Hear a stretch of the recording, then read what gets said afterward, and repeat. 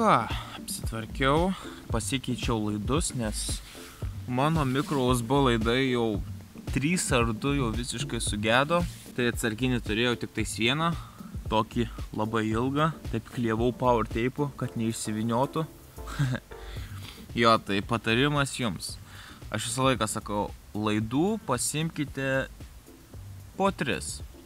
Žiūrint, ką jūs naudojat, bet tarkim, aš jėmu, e, nu gerai, iPhone'u ėmiau 2 pakrovėjus, 2 laidus, tada 3 ar 4 mikro USB, mikro USB laidai, tada 2 ar 3 Type-C laidai, žodžiu, kiekvieną laidą po 2-3 vienetus minimum, nes tu niekad nežinai, kada kas nors užlinks, sugės ir viskas. Žinoma, priklauso, kur keliauja, tai gal jums degalinį patogiau nusipirkti. Man degalinės yra tolokai.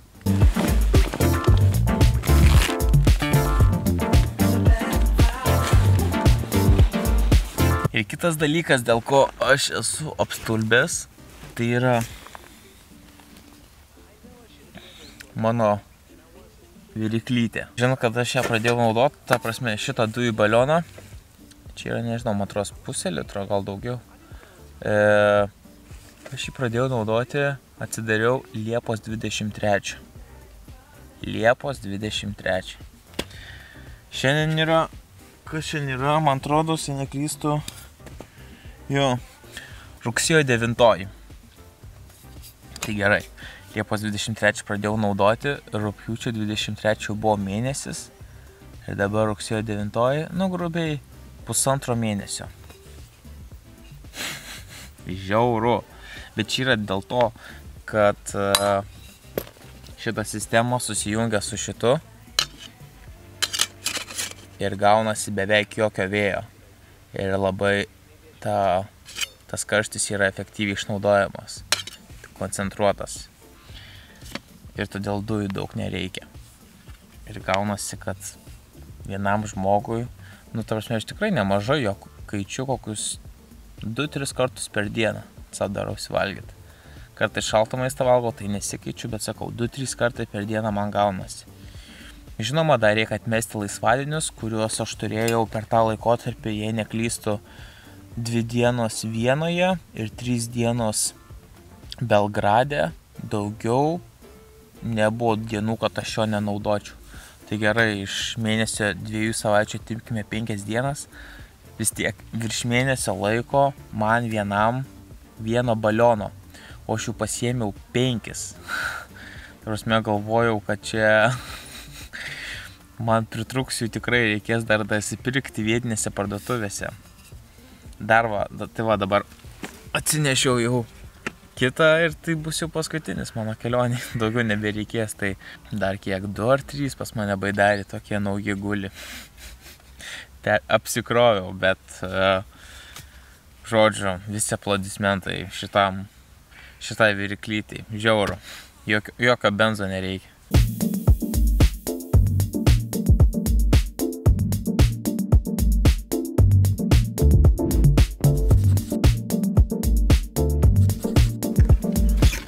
Gerai.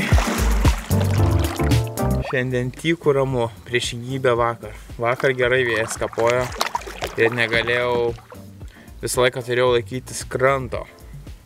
Negalėjau biški kažkaip skersai plaukti per upę, kadangi upė plati, tai galėtų biški paskersuoti.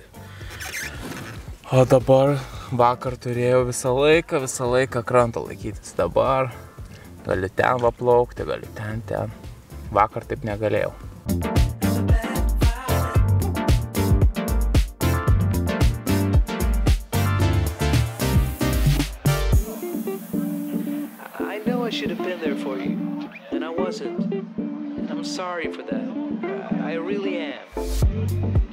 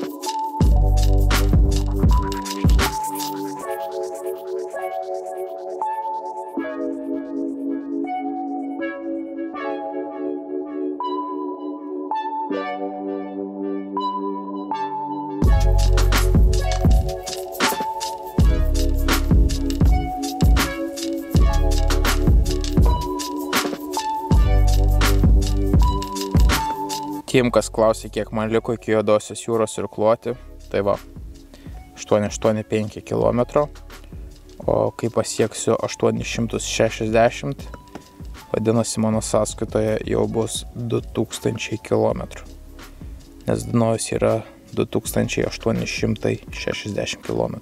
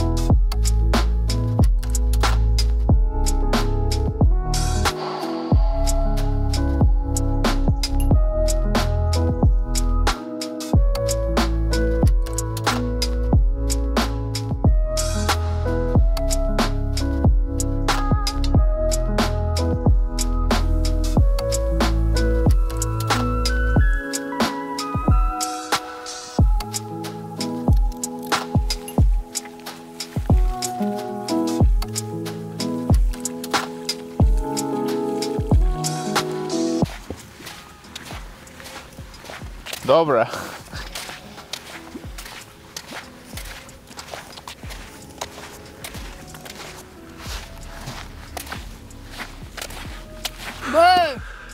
Штиро мыляйся. Не понимаешь? Ну. Литвания. Да, вот. Литвания. Блякси. Черно-си, черно-си. Конкурс, ай конкурс, чего?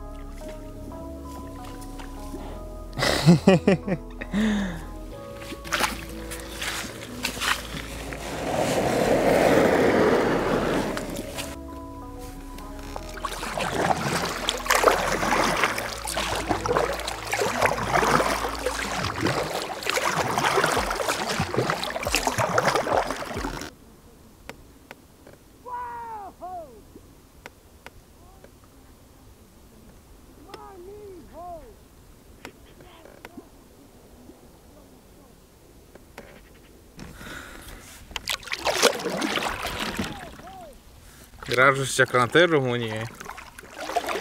Bet matau, kad su rumunų kalba bus problemų. Net ir gestai sudėtinga susikalbėti. Tai... o Rumunijai laukia belė kiek kelio. Belė kiek. Dabar yra 882. Tai dar sakykime koksai 30-40 km. Ir tada prasidės Rumunija. Ir Rumunija tęsis kokius 7-600 km. Labai daug. Tarsi tikrai daug. Laukia įdomus laikotarpis, įdomus etapas. Štai Iron Gates antroji užtvanka. Rimtas, rimtas projektas. Bet šiandien į ją nelysiu. Dabar reikia susirasti miegojimo vietą kažkur. Tai arba Rumunijos pusėje, arba ten toli Serbijos pusėje. Saulė tuo nusileis.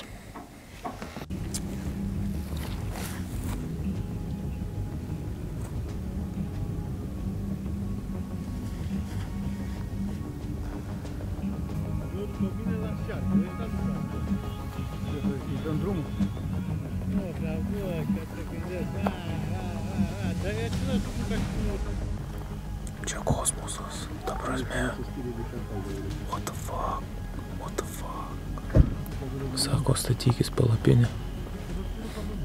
Ok, sakau. Aš visą laiką didel- didžiąją dalį šiandien plaukiau Rumuniją ir buvau jau išlipęs Rumunijos krante. Ir, nu dabar tai plaukiau čia į dienos pabaigą, saulė baigė nusileisti, galvoju, čia tokia vieta kaip ir visai nieko, pasižiūrėsiu, jeigu gerai, tai liksiu, jeigu ne, tada varysiu Serbiją. Taip, aš žinojau, kad čia nais gali, e, tarsi, tai yra nelegalu, bet kol, nu, blemba, visiška dikinė, nu, iš kur čia tie pasieniečiai atvažiuos dar kaip. Ir žiūrint kranto žvejoja vyrukas, išlipau viską, pasisveikinau, sveikas, sveikas, tai truputį pašnekėjom apie vilkus, apie šakalus, apie meškas, bet čia kitam vlogė. Sakau, čia pasistatysiu ant kelio palapinę, nes čia toksai žolės kelias eina. Sako, viskas gerai, žinai. Ir aš pradėjau neštis vienus daiktus, kitus. Ir žiūriu, atvažiuoja policija. Ir taip, pff, jau galvoju, kaip, kas, kur. Ir jie pradžiai su tuo vyruku, tuo žvėjų pašnekėjo, šneka. Ir aš jau suprantu, kad jie eis pas mane. Bet nežinau, kiek jie, nu, giliai kapstys, kiek jiems tikrai reikia, kiek tas rūpi. Ir atėjo, sakau, sveiki, sveiki. Žodžiu, sako, gali savo popierius parodyti. Jo, sakau, drąsiai. Pradžiai pasą parodžio, nu, sako, viskas gerai pasas, sako, turi tą popierį, kur nu, išsiregistravimą. Jo turiu. Sakau, jo turiu. Mano įsiregistravimas tai vienintelis buvo iš, tarsi mano prisiregistravimas buvo į Serbiją. Ir viskas, tik jį ir te turiu. O kad čia būčiau oficialiai ir legaliai, e, aš turiu iš Serbijos išsiregistruoti ir tada čia nais prisiregistruoti. Tų punktų yra daugiau, ne kažkokie pavieniai, bet šiaip jų yra visai nemažai. Ir pavyzdžiui, tau reikia į e, Rumuniją, turi įsiregistruoti iš Serbijos.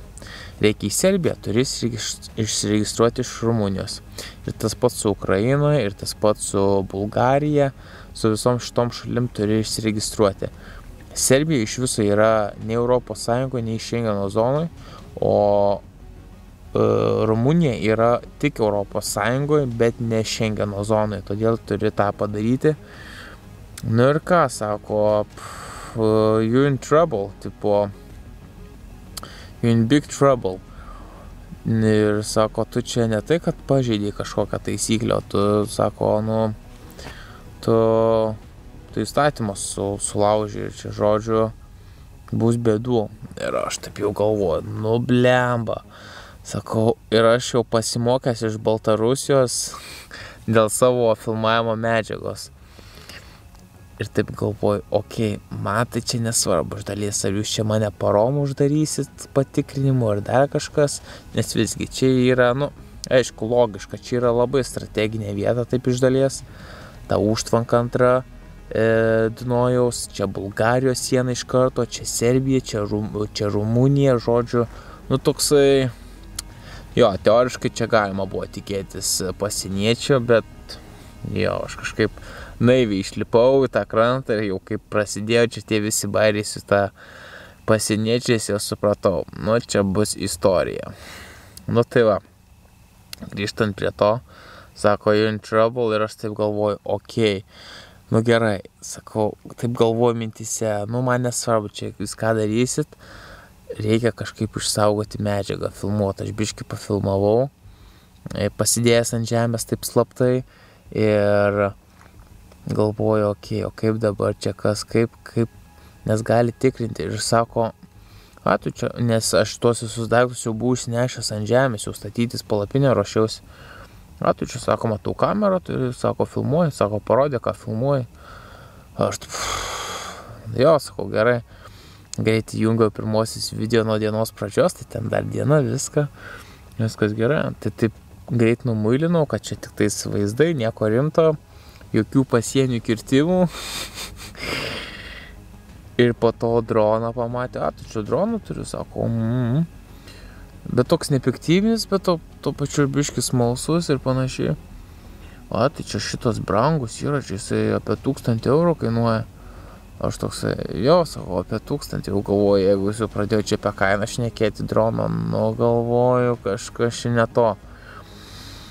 Bet skau gavau dovanų. droną ne pats pirkau. Na, žodžiu, bandžiau tai pamuilinti. Tas pradėjo kažkam ten skambinėti.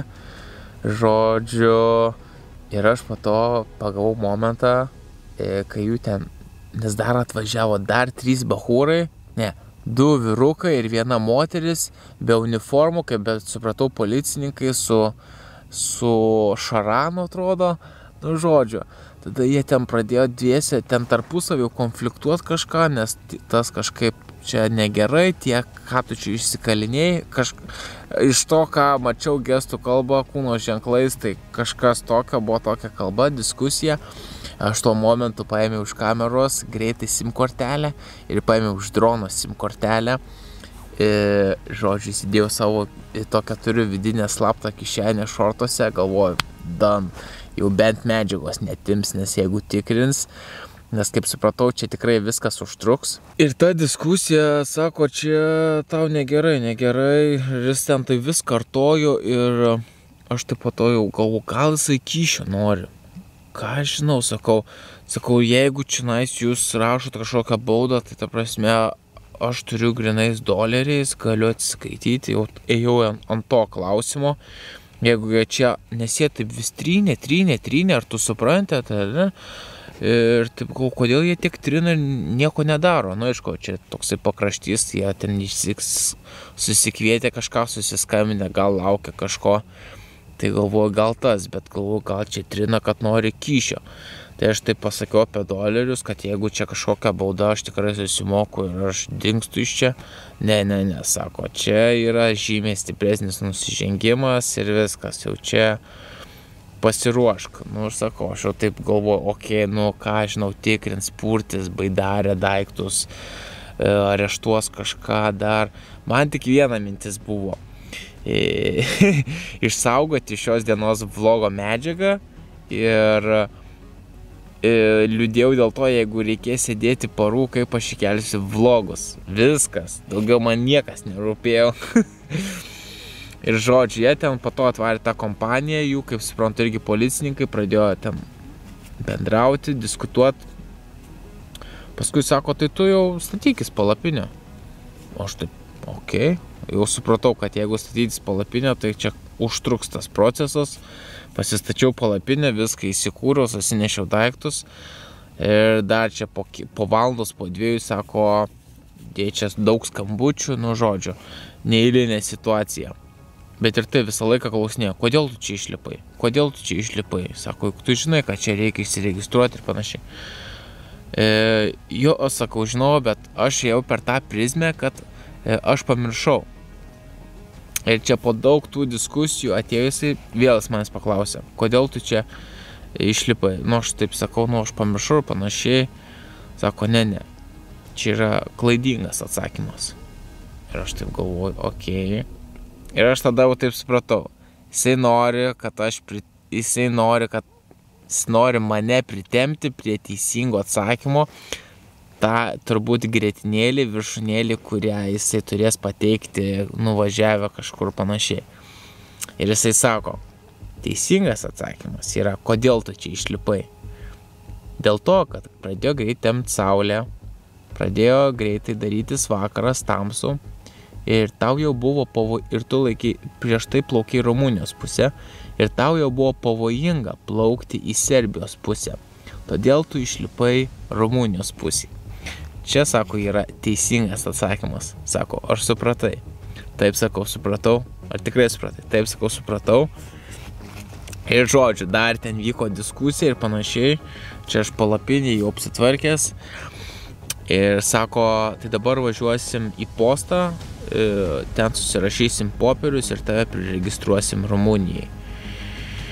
Kad tu jau prisiregistravai Rumunijai ir tada laikysies tik tais Rumunijos pusės ir Rumunijos žemė galėsi išlipti.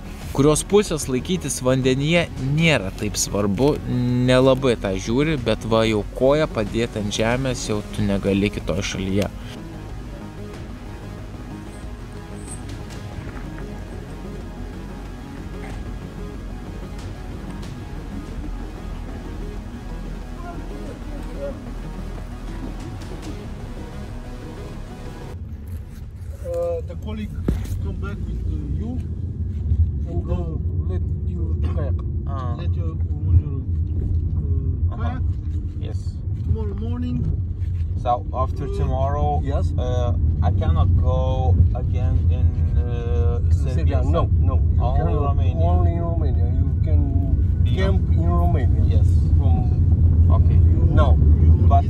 Can go in uh, Serbia Schlaus. Yes. side sloughs. I can go in, in the water in the Yes, yes, Yeah. because you. Uh, There's no option, no o- other option. uh, Okay, okay. So my tent is totally alone right now. No one says. No, no, No, no, no, it's a police Correct, thing there. Oh, there's a police guy. Yeah. Ah, okay, okay. That's cool. but Mă lăsa acolo, nu știu să zic plecare. Veni și eu așa. Luisa, tu ce faci mă, că plec așa acasă? Păi să nu spui că ai... Că plecare. terminase Bă, cu plecare. greu nota la port, da? Da. Sună-i repede. Păi de unde să-i suc? Arunci bagajul în microbus?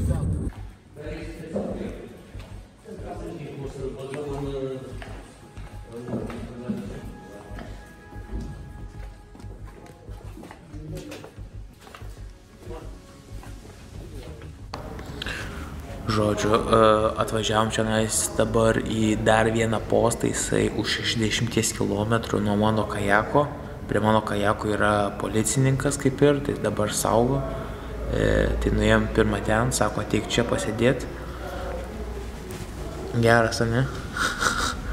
Travel free. Ir taupau bateriją, kamera baigia išsikrauti. Biškip su ją pavojinga filmuoti, tai filmuoju su telefonu pusiau, nu žodžiu. Mm, bet kaip ir viskas gerai eina, į link tą pusę, kad dabar mane priregistruos į Ramūnų pusę ir rytoj dar. O rytoj tipo dar irgi atsižmėsiu ir jau kai galėsiu, jau rytoj kaip ir būčiau viskas ok, bet šiandien kaip suprantu atveš mane atgal į Baidarę 60 km. Bet čia kažkokia vyksta diskusija dėl manęs, tai nežinau.